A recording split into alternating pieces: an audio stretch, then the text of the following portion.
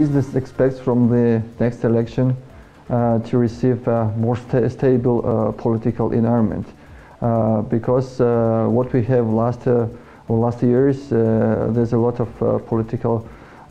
struggles that, that's why the business environment is not, not perfect so the main main goal should be for the next government next parliament to provide to ensure uh, the political stability and it will be um, uh, it, it, makes uh, it helps to, uh, to improve uh, and uh, make better business environment.